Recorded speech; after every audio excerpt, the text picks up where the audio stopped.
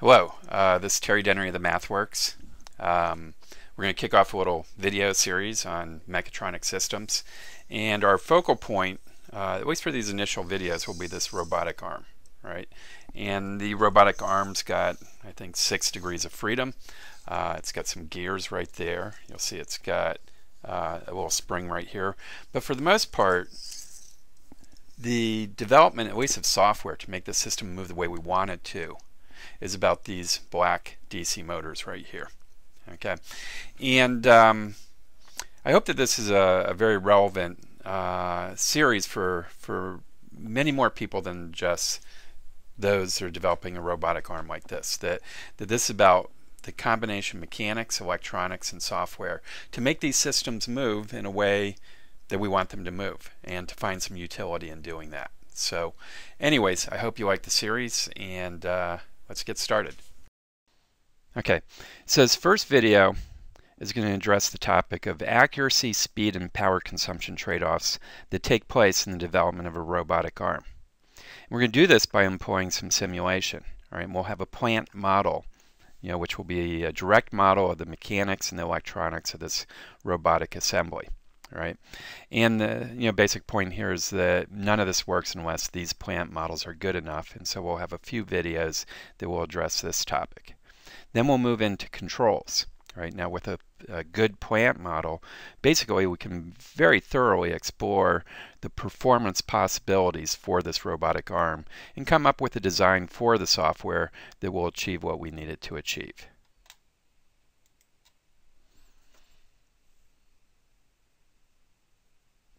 So let's begin with a simulation of our robot. We're going to see it moving through a pretty simple trajectory. What we're actually looking at are two robots. The blue one is a perfect implementation of our trajectory. The multicolored one is a plant model of our design, where we're essentially modeling directly the mechanics, the electronics, and the control. We'll see that our design for the most part is doing quite well, as it follows almost perfectly the blue robot. At the end, however, there is a problem. So we're running this simulation with MATLAB and Simulink, right? And we're looking at the Simulink model here, which basically has three main components. You know, there's the plant model. It's the mechanics and the electronics of that robotic assembly. Okay, there's the controller, and then there's the path plan for the robot. Um, the controller ultimately is software that's running on an embedded processor that's directly connected to that robot. It can issue torques that will be implemented by those electric motors, and that this algorithm running on here will be informed by measurements coming from the robot, namely, you know, the angles of each of these motors. Now the path plan is actually really interesting software uh, employs inverse kinematics to identify the perfect angles for each of these motors to achieve our overall motion objective. Now, we saw a problem, and the problem, in my opinion, is that we're probably underpowered, and so I'm going to go into my robotic assembly and essentially adjust my voltage. And so let's put in 30 volts, and let's hit the run button. The premise of this solution is that the robot was underpowered at 10 volts. So at 30 volts, it looks like we're doing pretty well.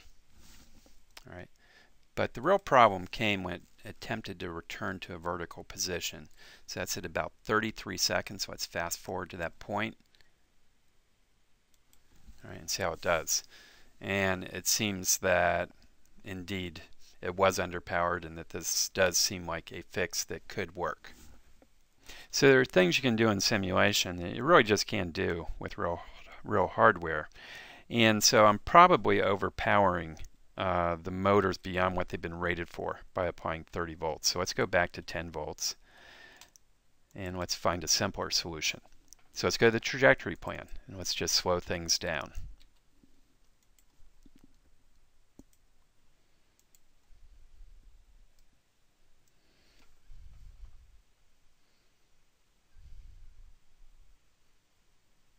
So it's doing very well. All right, so let's pause it. Let's bring it to that difficult maneuver where it returns to a vertical position. and we will see that we're back on track. So we're powering it with 10 volts, but because we're moving at half the speed, uh, we're able, the 10 volts is enough to achieve our motion objective. Okay, so I'd like to um, assess this performance uh, a little bit more quantitatively. And so in doing that, I want to look at speed and accuracy and power consumption. Right, and with regard to speed and accuracy, I think it's useful to look at this axis right here. Right, so if you see uh, kind of this part where it comes up, this is the axis that's really doing most of the work on bringing it back to the vertical position.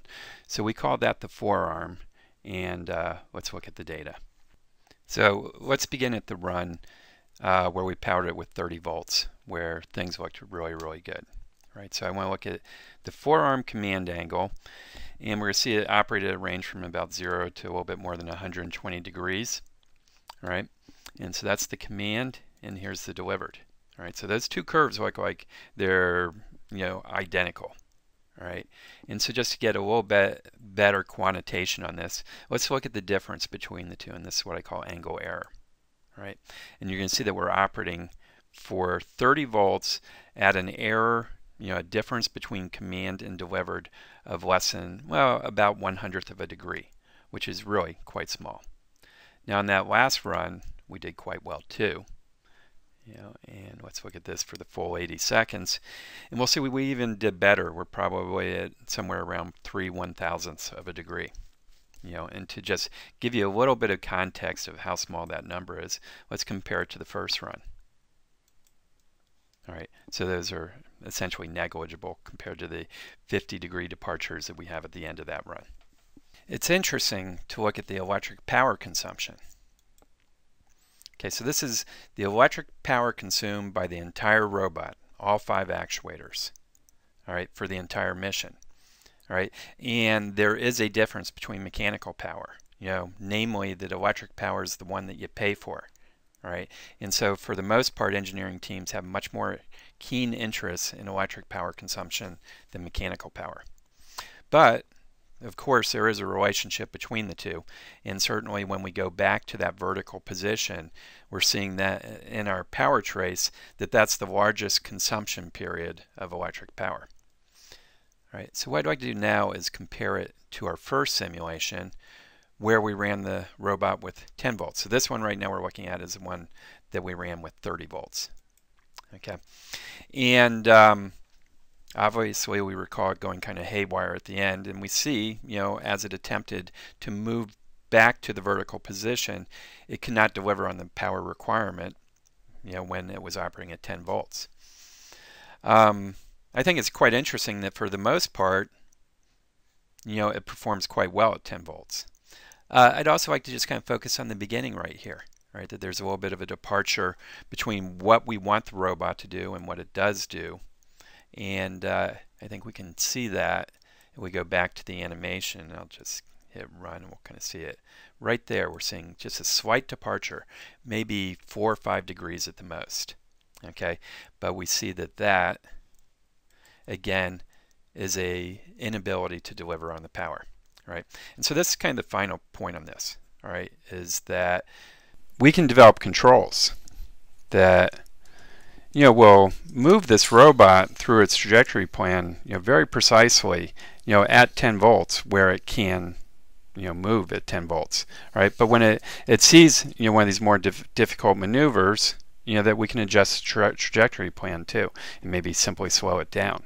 You know these are things that we can do through controls.